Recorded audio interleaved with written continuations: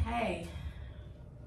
We don't have time to review much today because there's so much to talk about, but we are going to go back and cover some of the things about the Great White Throne Judgment. So, in the millennial reign, we've had Jesus has come back, the Battle of Armageddon has taken place, the marriage supper of the Lamb has taken place. There are 75 days unaccounted for um, that are mentioned by Daniel in his prophecy of the 70th week. When he tells the um, timeline, there's he says, Blessed is he who attains to the 1290 days and then the 13 and 35 days. So we have a 30 day period and then we have a 75 day period. And we don't know what happens during that time, but we believe that it's the marriage supper of the Lamb the sheep and goat judgment, and then the restoration of the earth. Because during the thousand year reign, the earth will be a flat plain except for Jerusalem, which will be on a mountain. And we do see mountains and hills mentioned. So there will be others, but Jerusalem will be the highest. So it's going to, the whole earth is going to look different during the thousand year reign. And it's going to return to paradise like the Garden of Eden. And we're also going to see where the animals don't kill each other anymore. Um, but there, there are still animal sacrifices in the millennial temple. So there will be a temple built there. It will not be, some commentators speculate about the temple that's going to be rebuilt during the tribulation, saying that it's going to be the same one in the millennium, and there's no way when I when I look at the details, there's just no way. Um, Jesus is going to build the temple in the thousand year reign. Israelites are going to build it during the tribulation. The one during the thousand year reign is very, very different than the one in the Old Testament.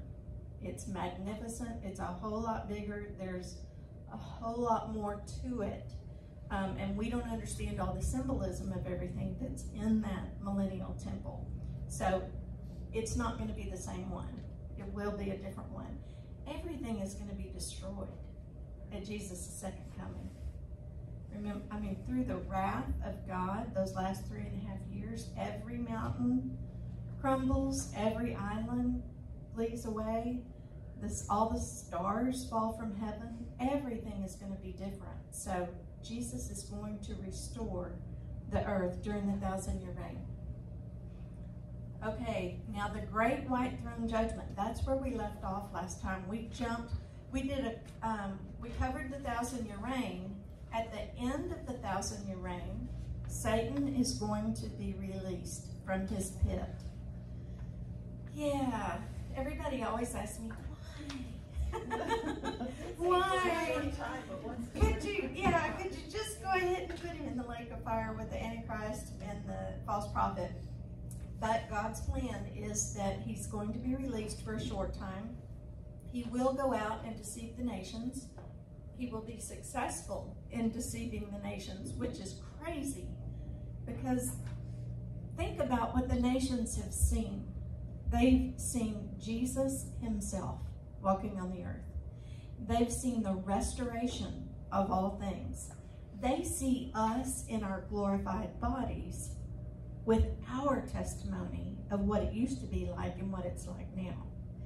And and yet they choose to go to war with God. So they allow themselves to be deceived. God destroys them with fire Satan is then cast into the lake of fire with the Antichrist and the false prophet. They're the only ones there right now in the lake of fire. Um, then the second resurrection takes place. That is the resurrection of all the dead since Adam. So they'll all be resurrected with new bodies. Just like we get new bodies at the rapture, they will get their eternal bodies at that second resurrection. They will stand before the great white throne judgment. I'm not sure where the, the great white throne is. I don't know if everyone, I don't know if the, the throne comes down, if it's in the temple, or if everyone, you know, he, he destroyed them with fire. Was the earth destroyed with fire and then we all go to heaven? I don't know where that judgment is. It's not clear in scripture. It just says, um, then they went to the great white throne judgment. They stood before the great white throne. then heaven and earth passes away and books are opened. So this has to be in some spiritual realm.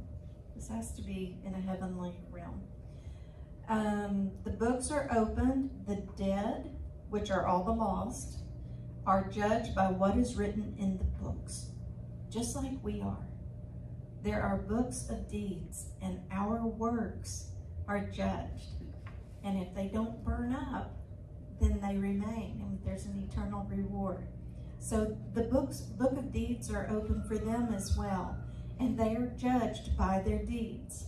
And then the book of life is opened, and if their name is not found in the book of life, they are thrown into the lake of fire. This is the end of evil. The, this is the end of it. So if you think about during the thousand year reign, do you remember what happened to Babylon during the tribulation? It was gone, it was destroyed. And if you read the book of Isaiah, it says that it becomes a prison for every wicked thing. So all those demons that have no place to rest, they're half human, half they're the offspring of half human, half angel. They are imprisoned in Babylon during the thousand year reign. So at this point, they're thrown into the lake of fire with death, with Hades, with Satan, with all the fallen angels, all wickedness is thrown into the lake of fire. This was the chart that is in your book. And we went over it pretty much last week and showed where all the unbelievers and where all the believers in history are. At this point, in the great white throne judgment, we are there. We're witnesses but God is judge, and the books are open and they're um, judged according to their deeds. And we think that there are rewards in hell, just like there are rewards in heaven. Some are not going to have it quite as hot as others, but it is eternal separation from God. The body never dies. It is eternal torment for anyone who rejects God. Any questions about where everybody is right now? The only people left are all around the, the great white throne as witnesses, and that is the earthly survivors, believers of the millennial reign in their human bodies, and then the bride of Christ in their spiritual bodies. That's all that's left right now.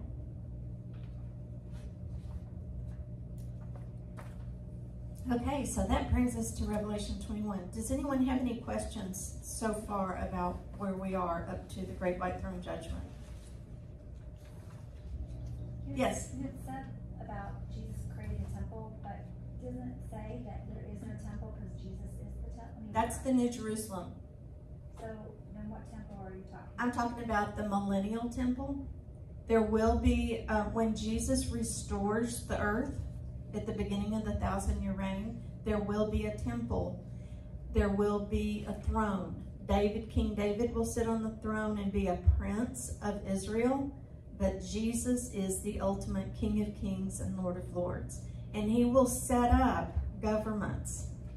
He will divide the world and all these survivors who then begin to multiply and be fruitful um, they will be workers and leaders in the nation. I mean, it's like God starts all over with a small remnant from the tribulation.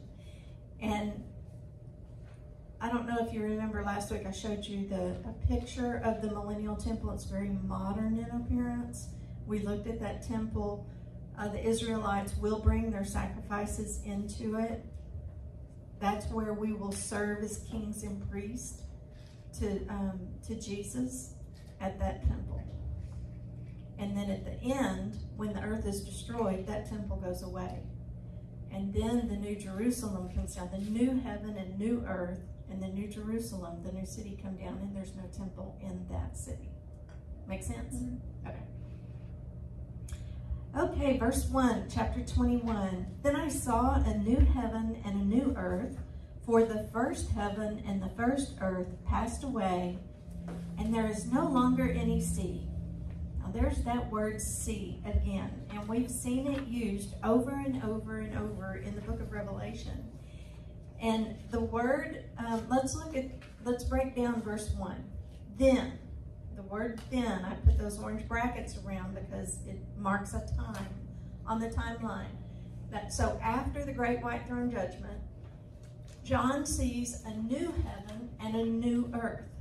Okay, what does that mean? New means fresh. It comes from the Greek word kanos, and it means new or fresh. Heaven, we know what heaven is. It's the air, the sky, the third heaven.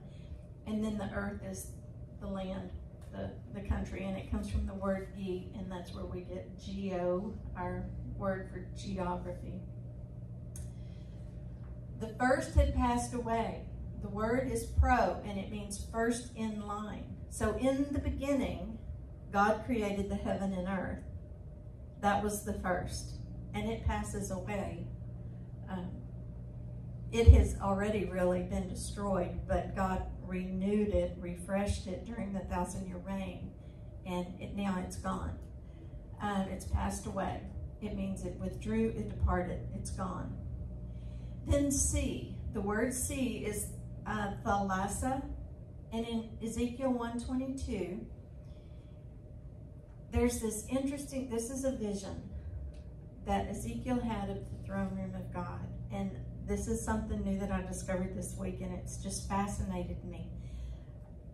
Now, over the heads of the living beings, there was something like an expanse, like the awesome gleam of crystal spread out over their heads. Under the expanse, their wings were stretched out straight, one toward the other. Each one also had two wings covering its body on the one side and on the other. Now, above the expanse that was over their heads, there was something resembling a throne, like lapis lazuli in appearance. And on that, which resembled a throne, high up was a figure with the appearance of man. So in this vision, it's like there's a crystal sea over the heads of the living creatures. So you have the throne, and if you look at that picture, you see uh, artist rendition of this. You see the throne of God with someone with the appearance of a man sitting on the throne, the four living creatures around the throne, and that's the same as what we had in Revelation. But in Ezekiel, the sea, the crystal glassy sea expanse was above the living creatures. It was between, it was their ceiling. And it served as a floor of the throne. Well, that's different than Revelation. So in Ezekiel, there's the best I could do to kind of show you what it looked like. God was on the glassy sea. No one could approach his presence. They could see his presence. They were in his pres near his presence, but they were separated by this glass ceiling. I want you to think about that term, glass ceiling. In what way have you heard that in modern political terms? And what what are they trying to do? People who mentioned the glass ceiling. They're trying to shatter it. Which is interesting to me. I went, what are they really trying to shatter? Is it just a political thing? Is it just a um, is it just an income thing? You know, there's a glass ceiling for women. Men have all these other opportunities, and there's a glass ceiling for women. They can only go so far. They can't get any higher. and they want to shatter the glass ceiling. And I thought, is there something a little bit more cynical and wicked here? Is this uh, kind of like the Tower of Babel, trying to reach God um, by building the big tower? Is trying to shatter the glass ceiling, trying to get to the throne of God. And it's there for our protection. It's there for our protection because we can't be in His presence without holiness and purity. We can't approach. So in the Old Testament, nobody could get to the throne. They could see it, but they couldn't get to it. In Revelation 4, the New Testament saints are seated on thrones around the thrones with the four living elders.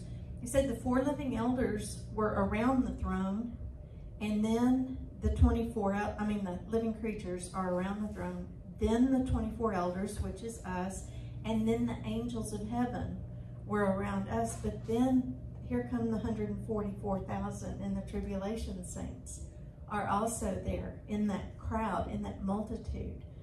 And so they're standing on, um, the tribulation saints were standing on the sea of glass before his throne. So now, be, I wonder if this is a, a, symbol of the veil being torn in the temple. Remember the old when Jesus died on the cross, the veil in the temple was torn in two, and now everyone who commits their life to Jesus has access into the Holy of Holies, into the throne room of God without fear. We can boldly approach the throne of grace of God without fear. So I wonder if that veil was a picture, you know, everything in the temple or the tabernacle was a pattern of what Moses saw in heaven. So was the veil symbolic of the crystal sea and that it it shattered. I think that I think the crystal sea moved um, at this time. And now we all have access to the very throne of God. As a matter of fact, we're seated with Christ.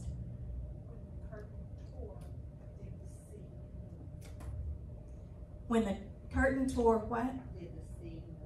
Did the sea move? I believe it did. I believe at that moment the sea moved.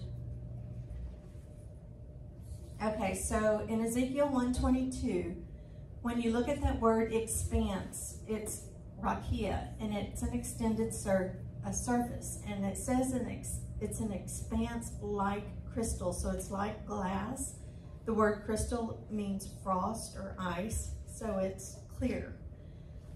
Um, so you see in the notes I put, it is possible that no one could approach the holiness of God. You could be in his presence, but you were separated by glass, by this expanse of crystal. Exodus 24, 9. This is when Moses went up the mountain with Aaron and Nadab and Abihu and 70 of the elders of Israel. And they saw the God of Israel. And under his feet there appeared to be a pavement of sapphire, as clear as the sky itself. Yet he did not stretch his hand out against the nobles of the sons of Israel. And they saw God, and they ate and drank.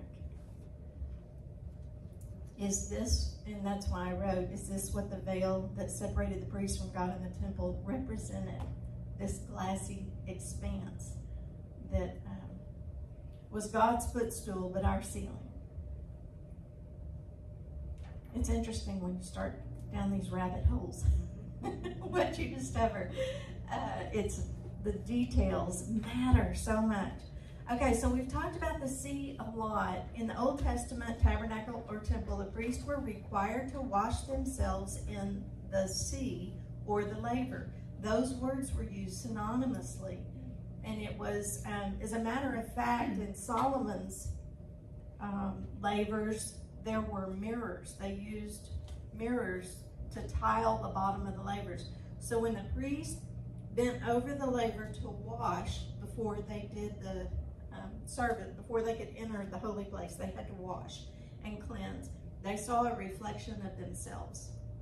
And even without the mirrors on the bottom, um, just seeing your reflection in the water was supposed to uh, imitate us examining our lives and looking for places that we need to confess and repent.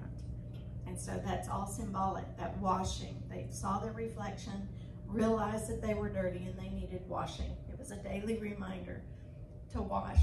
And that laver was a giant bowl where all, and some of them in Solomon's time, they, they got in and they bathed. You know, there were like giant hot tubs. They all got in and, and bathed. They washed their feet and their hands and their faces. They, they took a bath. So, um, this was all to point towards purity and holiness required to enter into God's presence. And we see we see that in the tabernacle in the wilderness, and those are the cross references that you find in Exodus and in First Kings in Solomon's temple. So you can chase that down if you want to do further study on the laver. The sea in the Bible can represent three different things, and we've already talked about these in earlier chapters. It can be a large group of people. Remember, the beast came out of the sea in Revelation 13. And so that was a, a, picture of him coming out of a sea of people. And it's always a symbol for lost people, for Gentiles. He came out among a large group of lost people. It could also mean the depths of the sea or the deep. Remember in Genesis 1, God separated the waters. You know, his spirit hovered over the deep and then he separated the waters. In the Word of God, as the sea was the place that priests washed in the molten sea or laver for cleansing. So we've got three different symbols that it could be. So it appears that when we're talking about this expanse or standing on the sea, the sea could mean the Word of God because um, it's the place where where priests washed and to get clean. And in Ephesians 5:26, it says, "Just as Christ loved the church and gave himself up for her so that he might sanctify her." That means to cleanse us. Having cleansed her by the washing of the water by the word. It's the word that washes us clean. It's the word that reflects whether our behavior is good or evil. It's our rule book, our law. And when we read it, we recognize where we've failed, where we've sinned. So it shows us our sin, it reflects our sin. And then when we confess and repent, we're washed clean. We're clean by the blood of Jesus.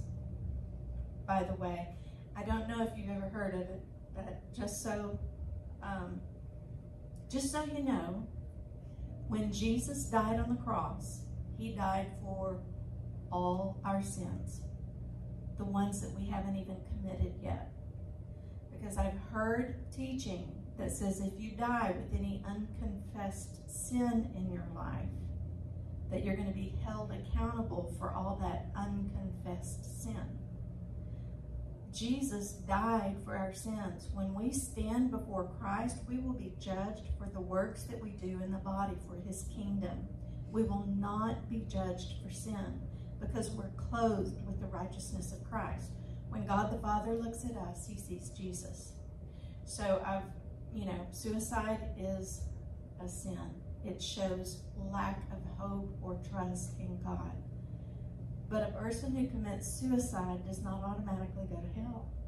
People say, well, they didn't ask forgiveness for that sin, and they, you know, that was the last thing they did was sin, and there was no. Jesus died for forgiveness of all sin, the ones we haven't committed yet. If we die today and we've got a few months of sins built up, it's fine. We're still covered by the righteousness of Christ. He prefers that we go to the sea and wash to the Word of God and wash daily um, so that we are sanctified, so that we're walking in righteousness. But we will not be cast into hell if there's any unconfessed sin in our life. Karen, you bring that up. My granddaughter asked me that question. My 19 year old granddaughter asked me that question this past Sunday. Mimi, I got a question for you. It comes up a lot. Do they go to heaven or hell? Right. If their name is written in the Lamb's Book of Life, they go to heaven. Right. If they're if it's not, then they don't. I mean, it's black and white. But it has nothing to do with committing suicide. That is a sin, just like gossiping and grumbling and overeating is a sin. Having gone through that other trend, David Meyer came to help me counsel when it happened. And he said, that's an illness, just like the flu, just like a heart Yes. attack. That is a mental. It's a mental hopelessness. There's a hopelessness there. And you have to view it that way. Yeah. Okay. Just wanted to throw that little tidbit in there in case in case someone ever asks you that question, you can back it up and say, No, Jesus died for all our sins. As long as they're a believer. As long as you're a believer. That's right.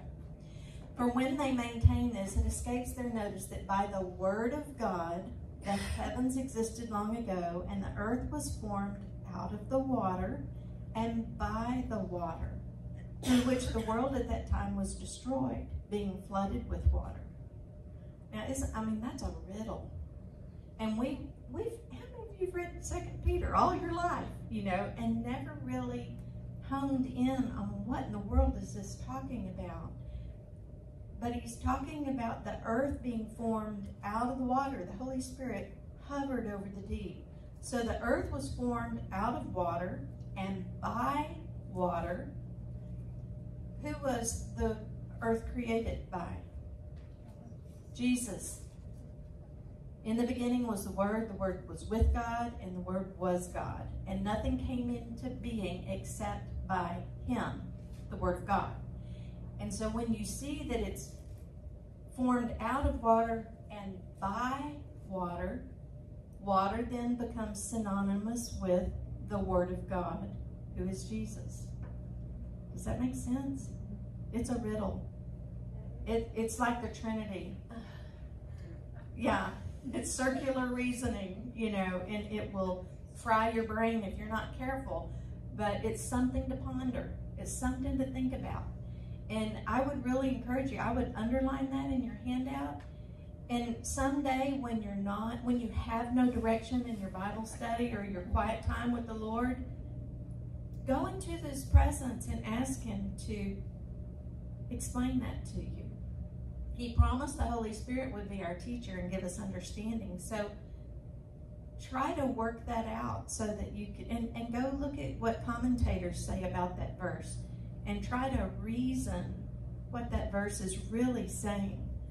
He says, But by his word, the present heavens and earth are being reserved for fire, kept for the day of judgment and destruction of ungodly men. And that's at the great white throne judgment. That's at the end of the thousand year reign.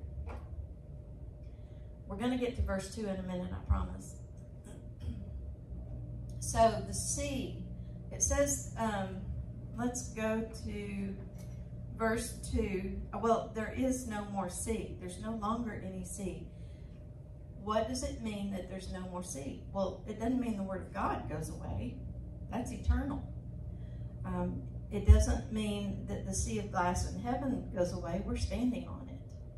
So, does it mean that the large group of lost people, the Gentiles, go away? And I believe that's what it means.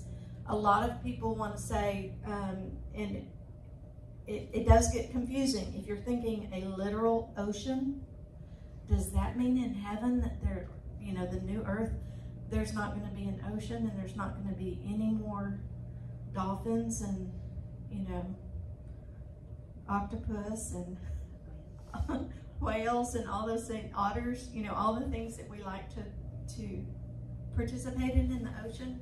Some people go there and say that's what that means. But if we've got three different symbols that the sea is used for, and here, if he's destroying and he says the ungodly men will be gone, it appears that this sea in verse 1, there's no longer any sea, means there's no more large groups of people who are lost.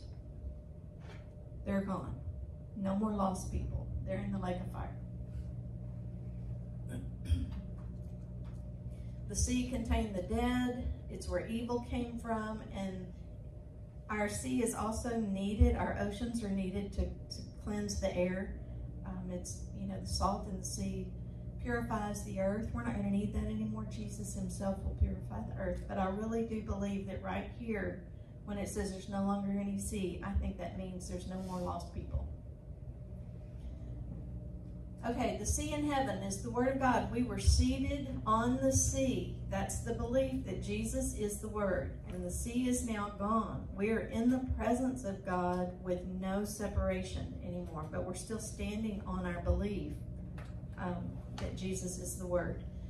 The tribulation saints were standing on the sea. That was the belief in Jesus, and it was mixed with fire. Do y'all remember that? We talked about the um, when the tribulation saints came, there was uh, sea mixed with fire. Well, the fire in heaven was representative of the Holy Spirit. The Holy Spirit was in us, the lampstands. Remember that? Um, but the fire also represents testing. And so they were tested by fire through the tribulation and they overcame.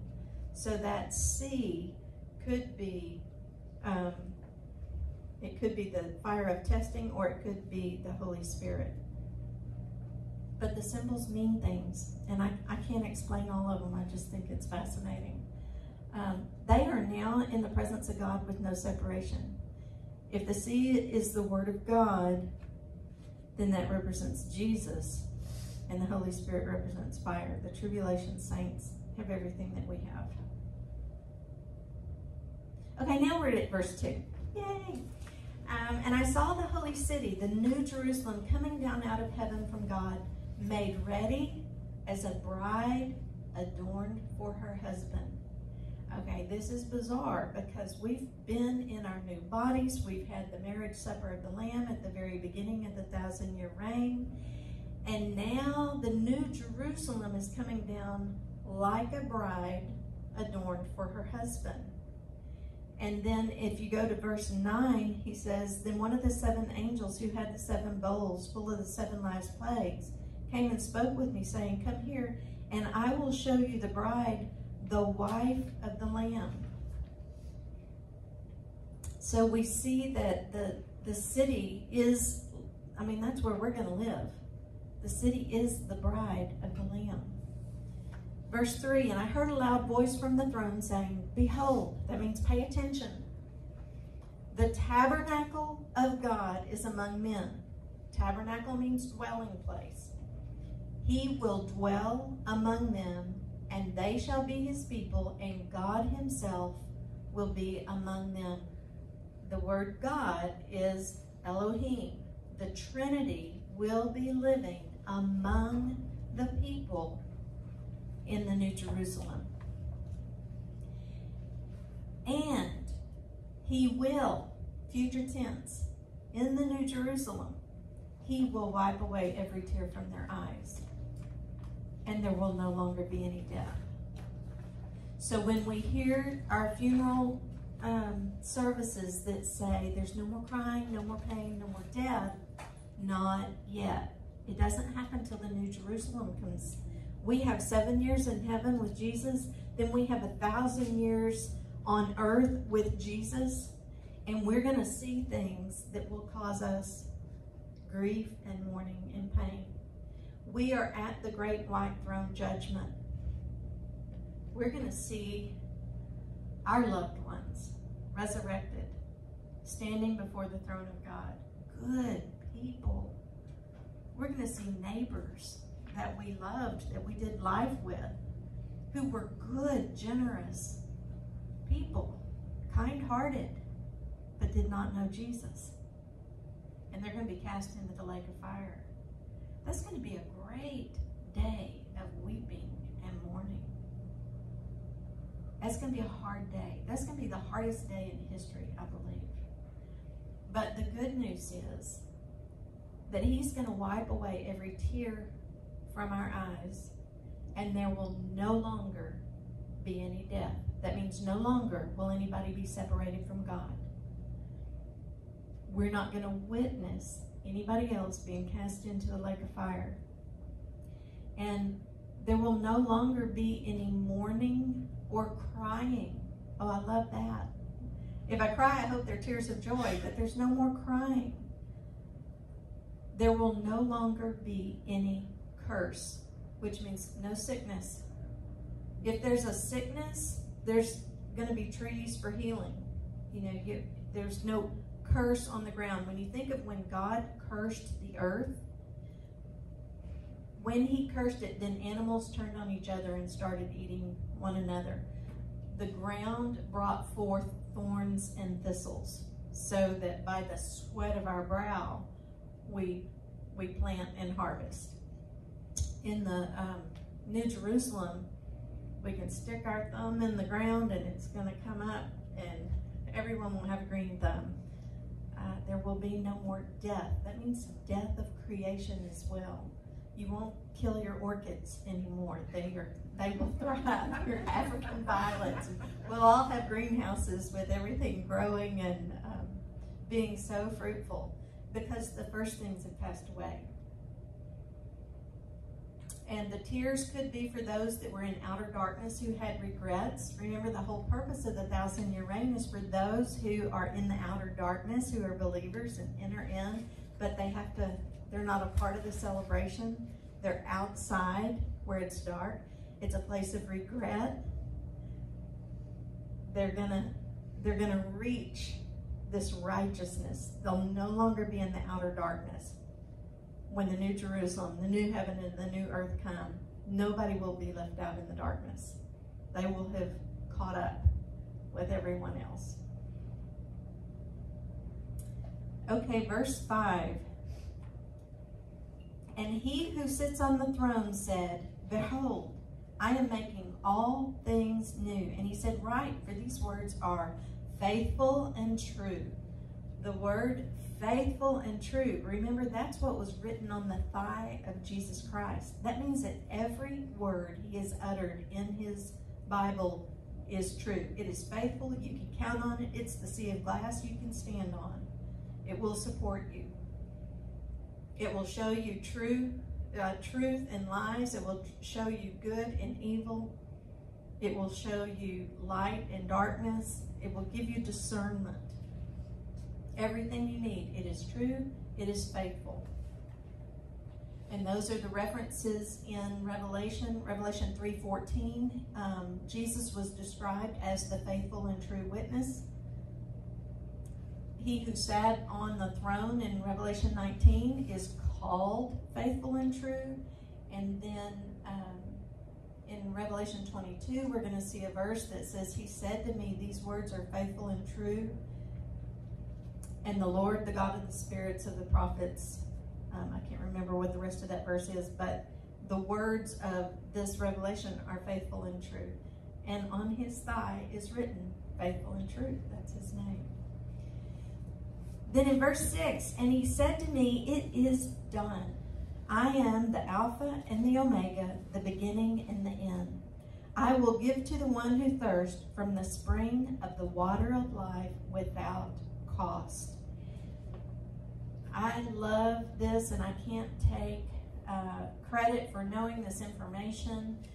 Um, but he says, I am the Alpha and the Omega. Though that's the first letter and the last letter of the um, Greek alphabet.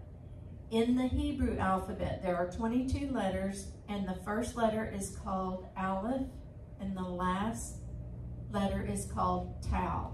So if you were reading this in the Hebrew, it would say, I am the Aleph and the Tau, the beginning and the end.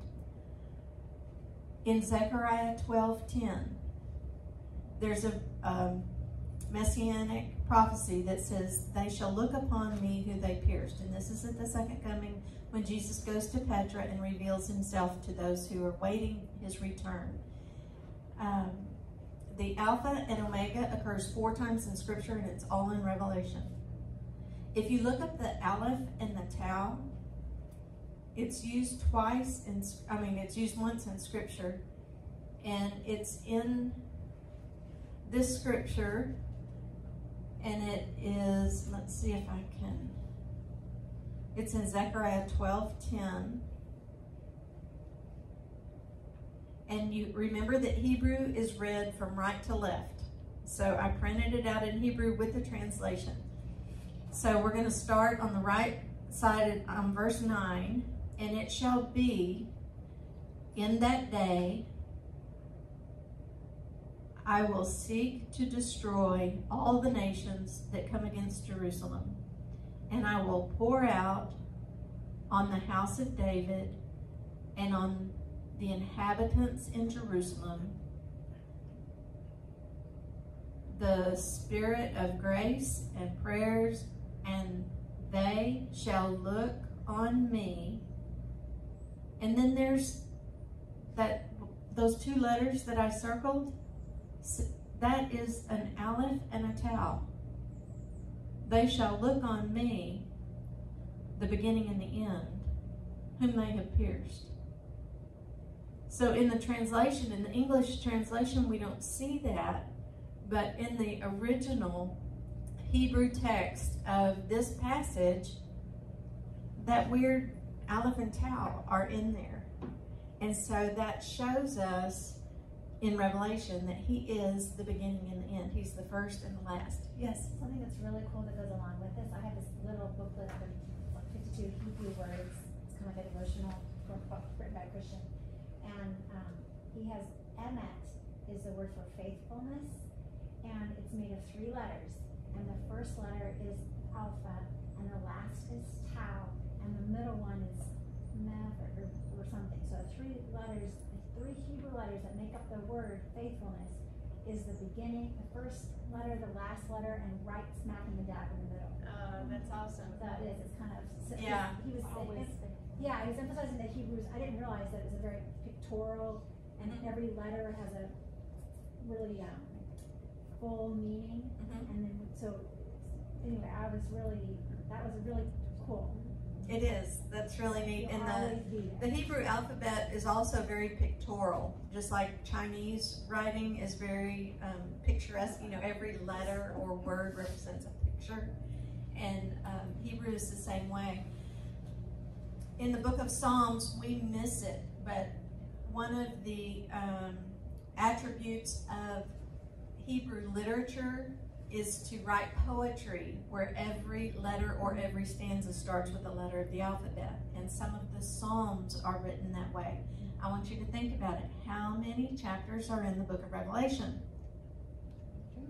22. One for every letter of the alphabet.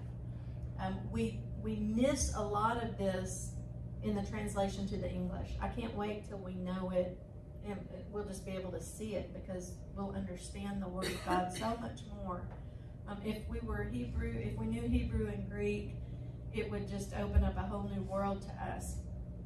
But we're, we're limited in our, in our knowledge. We're doing the best we can with what we have. So let's look at Psalm 119.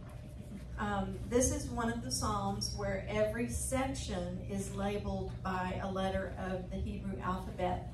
And Psalm 119.1 starts the section and it is labeled Aleph, which is the first letter of the alphabet.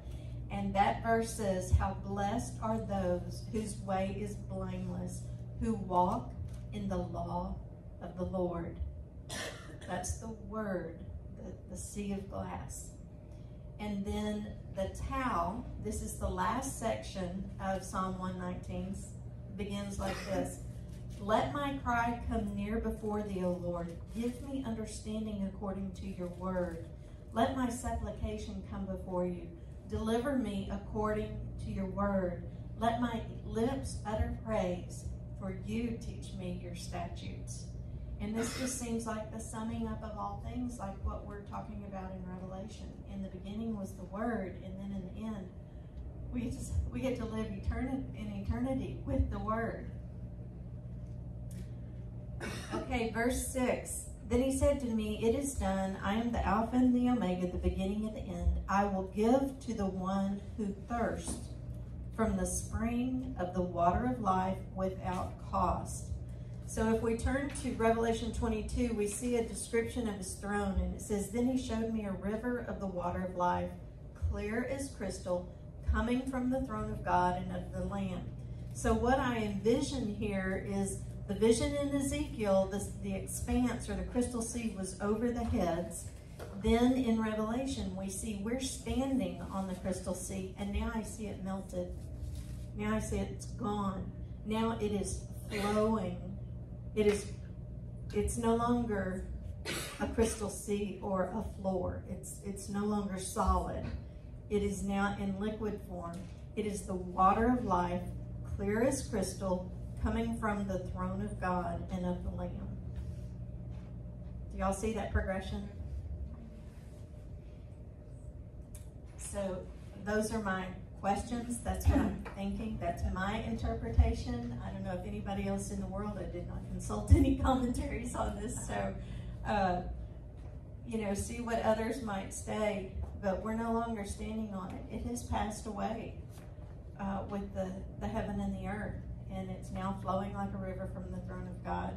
It also serves as life giving water to the nations. The nations who are still in their physical bodies can come to the river of life and drink as often as they want to drink. Is that where we are right now? Right now, this is our crystal sea, and we can come to it anytime we want without cost. We can come to the Word of God. We can approach, if Jesus is the Word, we can come before Jesus in the Holy of Holies anytime we want. He lives, if we are the temple of God, the Holy Spirit lives inside of us wherever we are.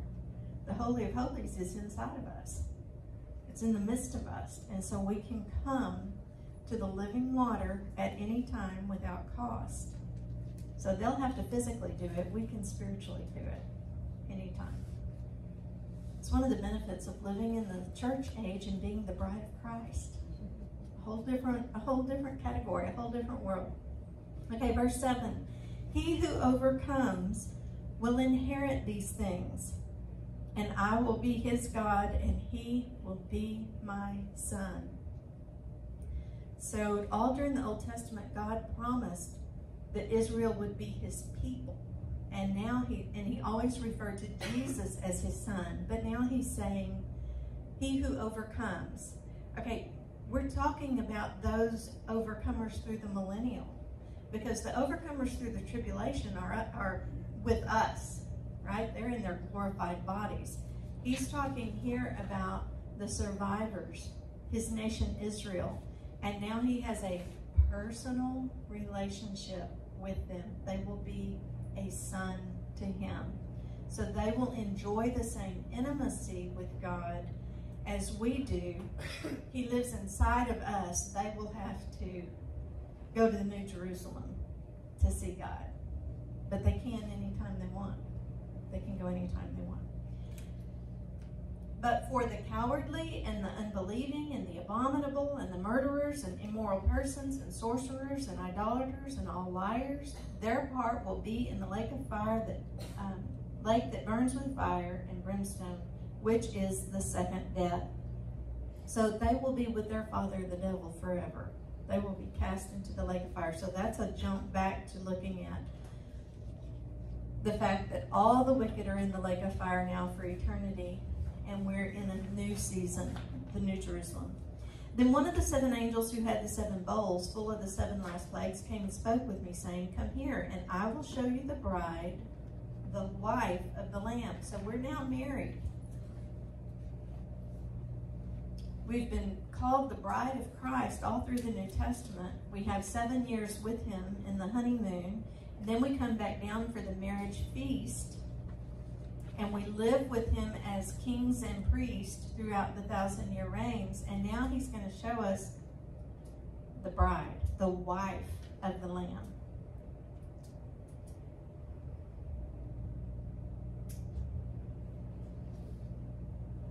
Then verse 10, and he carried me away in the spirit to a great and high mountain, and he showed me the Holy Spirit, I mean the holy, what did I say, the holy city, Jerusalem coming down out of heaven from God. So when he says the heavens and the earth passed away, he's talking about that first and second heaven. the, the first heaven is where the birds fly and the airplanes are. The second heaven is outer space where the stars, the moon, and the sun are. All of that has passed away. But the third heaven, the throne room of God, still exists because right here, the holy city comes down from there. So I want you to think about the, what Jesus said before he left. In John 14, I believe, he said, I go to prepare a place for you. If it were not so, I would have told you. In my Father's house are many mansions or many rooms. These are dwelling places. And when we compared that to the Jewish, uh, the traditional Jewish marriage ceremony, after the proposal, the son went back to his father's house and added on a room or living quarters for he and his bride. And when his father thought it was finished and acceptable, he would instruct the son, okay, it is done, go get your bride. So think about that, that Jesus has gone to prepare a place for us. It will be held in escrow for a thousand years, a thousand and seven years. It is in heaven. He's building it now. But when the new city comes down, it's coming out of heaven, and this is our dwelling place. This is our mansion that's coming down, prepared as a bride adorned for her husband. Um, and having the glory of God, her brilliance was like a very costly stone, as a stone of clear, uh, a crystal clear jasper. So it looks like a diamond. The city looks like a diamond. It had a great high wall with 12 gates, and at the gates 12 angels, and the names were written on them, which are the names of the 12 tribes of the sons of Israel. So this is interesting. I wrote down the 12 tribes of Israel as they were listed the first time in Scripture. Reuben, Simeon, Levi, Judah, Issachar, Zebulun, Joseph, Benjamin, Dan, Naphtali, Gad, and Asher. Sometimes Dan is missing and Joseph is divided into Manasseh and Ephraim. So be aware of that. Uh, those names are manipulated sometimes, but this is these are all 12 sons of Jacob. I mean, yeah, Verse 13, there were three gates on the east, three gates on the north, and three gates on the south, and three gates on the west. So this is not some symbolic temple. He's given us very specific uh, directions here. So we know this is a literal city coming down. It parallels the camp of Israel that we were given in the New Testament. And I put a, a smiley face there. Notice that Peter is not mentioned at any of the gates. There are there is an angel at every gate. And the wall of the city had 12 foundation stones, and on them were the 12 names of the 12 apostles of the Lamb. So they are our foundation. That's what the, the church was built on, were those 12 apostles that Jesus called. And the church was built on that foundation, that rock. And Jesus was the cornerstone. So it's interesting to me that the gates are, are the, um, the names of the 12 tribes of Israel. The stones are the 12 tribes, I mean the 12 apostles. It's fascinating to me how some people um, try to imagine what this looks like. I don't know, it's not clear from scripture, whether the 12 stones was a solid slab of, what are they, ruby? I don't know what they all are yet. Um, we'll see it in a minute, but is it a solid slab, 12 layers tall, that's the foundation? Or, since every gate is one of the 12 tribes, is every foundation stone also aligned with one of the tribes? So that when you look at it, there's only one foundation, but this corner is a ruby, this corner is a sapphire, this corner is jasper. Yeah, so we'll see some pictures of that in a minute. The 12 apostles were Peter, Andrew, James, John, Philip, Bartholomew, Thomas, Matthew, James, Thaddeus, Simeon, and Judas. It will be interesting. A lot of people say Judas will not be there because he rejected Christ. He turned over Christ, but I believe he was extremely remorseful. Um, the fact that he committed suicide showed that he was distraught. And Jesus looked at him and says, Do what you need to do. It was prophesied ahead of time. He was chosen and appointed ahead of time to betray Jesus. So I don't think that was the unforgivable sin. It was a sin, but it's not an unforgivable sin. And so personally, I believe Judas is going to be there. It'll be, I don't know that he gets his name on a foundation stone. It'll probably be Matthias. Was that who? Or, that um, replaced him. Oh, and let me just say, I heard a commentator uh, this week mention that Matthias was not chosen by God, that he was chosen by Lot. Uh, let me just say that God is God of the lots. Everywhere in the Old Testament, the way they judged guilt and innocence was someone had to reach into a bag with uh, three black stones and a white stone. So the chances of pulling out the black stones meant guilty, the white stone meant innocent. God directed and revealed innocence and guilt. It was not by chance. I mean, the chances of reaching in and pulling out that white rock are slim. But because God is God of the lots, then if you were innocent, you really would pull out the white rock every time, the white stone if you were innocent, because God is in control of all that. When they cast lots for Jesus's clothes at the cross, God was in charge of who won those lots. Um, he, it's not by chance. It, it's not by chance. And when you look at the Old Testament and see how people were judged, you recognize that God directed who would be chosen, the disciple, to replace Judas. So just keep that in mind. Verse 15 The one who spoke with me had a gold measuring rod to measure the city and its gates and its wall. The city is laid out as a square, and its length is as great as its width. And he measured the city with a rod, 1,500 miles. Its length and width and height are equal. So it's 1,500 wide by 1,500 long by 1,500 tall. That's pretty amazing. 1,500 miles. Miles. It is a cubed shape, and when you unroll a cube, it's the shape of a cross. Fascinating. We live in three dimensions right now. When we are in our glorified bodies, we will live in additional dimensions. We physical walls will not stop us. We'll be able to pass through walls. We'll be able to transport ourselves with a thought. Um, so we'll be living in a different dimension that we don't really understand right now. Our bodies will be able to do things that um, we can't even comprehend right now. This is a visual of the New Jerusalem coming down. It, it's a little more gold in this picture. If you look at the next picture, that's more accurate on the left because it looks more like a diamond shape, clear as crystal. The picture on the right, um, I like because you can see the 12 gates. And is that the one where you can see the 12? No, not yet.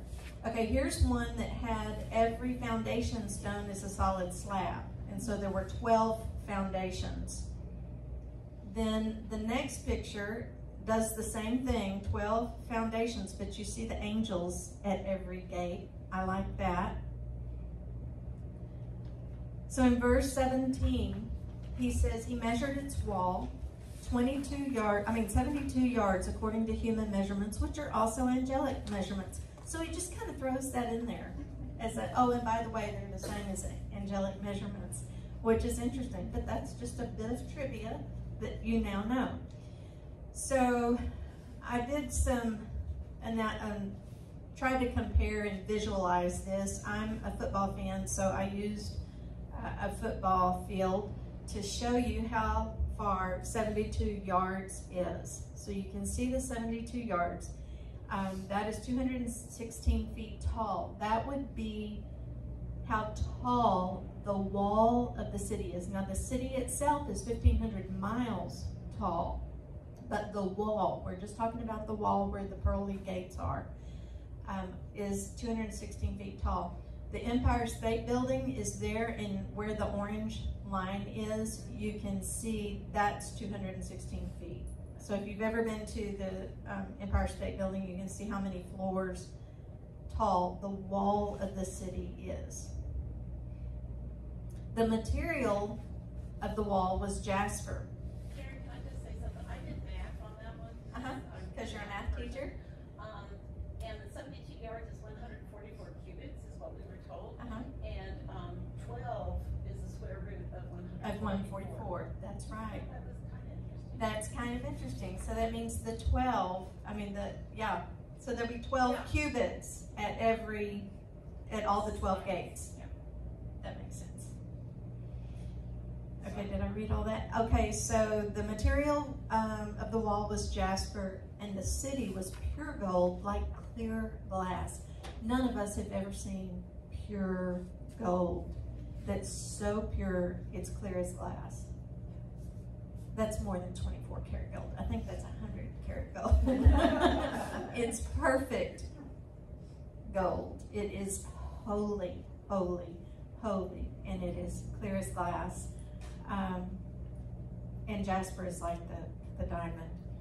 The foundation stones of the city wall were adorned with every kind of precious stone. And then it gives us the names of the stones. But something interesting is that when you trace the names of the stones, they you can't trace them back very far because um, when Babylon changed everything, when they came into world power, um, they polluted all of the history. And so now we don't have, um, there's dispute of what name goes with which stone and what color they are. And there's all variations. Uh, even within the same uh, stone, I mean, we, you can say diamond, but there's yellow diamonds and pink diamonds and um, all shades of diamonds. And so it's that way within every rock. So we're not sure what the exact colors are. The first foundation stone was jasper. We think that's like a diamond. The second was sapphire. We think that's blue. We're pretty sure it's blue.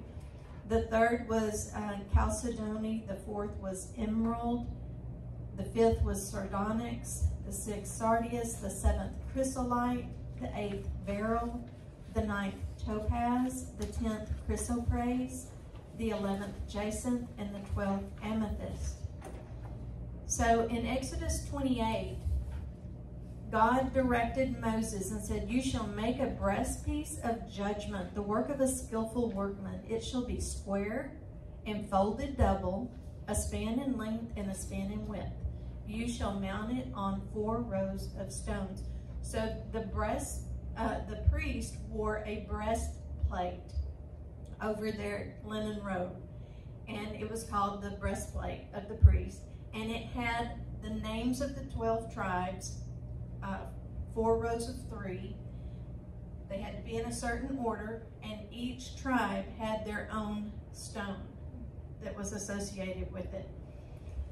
And so these were um, the first row shall be a row of ruby, topaz, and emerald. The second row, turquoise, sapphire, diamond. The third row, jacinth, uh, agate, amethyst, the fourth row, beryl, onyx, and jasper, and they shall be set in gold filigree. The stones shall be according to the names of the sons of Israel. So we're seeing a pattern in the breastplate of the priest in the city of the New Jerusalem. Twelve, according to their names, they shall be like the engravings of a seal, each according to his name for the twelve tribes. So we can't validate the stones. We believe that the rabbis do know the, the ones that are mentioned in the breastplate so that when they get ready to rebuild the temple, those things are ready to go. Um, what we think, these are you can look at that chart and see what we think the colors are right now. That's the closest that we can get to it. And then there are three different pictures that I found, and they all have them different. They're all different. Everybody has a different opinion. So we can't really be sure, but I'm trusting that God will reveal to the rabbis exactly what they need to be in compliance in the tribulation temple. Verse 21 And the 12 gates were 12 pearls. Each one of the gates was a single pearl. And the street of the city was pure gold like transparent glass. So now we're standing not on the blue, the crystal sea, uh, the expanse that was blue in appearance. It was clear like ice, but it was, it, it appeared like sapphire. It was reflecting the heaven. What are we reflecting now? Gold. We're reflecting the light because there's no darkness of heaven anymore. There's no blue sapphire night sky. So now um, it's pure gold like transparent glass, and that's what we walk on, and it's still the Word of God. Interesting that the gates that are named for the 12 tribes of Israel are pearls because they're not kosher. They were considered unclean. Jewish people were not allowed to eat oysters. They come from the sea. The sea represents the lost, the Gentiles, right? This is the only remnant of the sea that we have in heaven. Pearls grow in response to irritation. So it's a thing of adornment that begins because of strife or tribulation. So I just want you to think about this.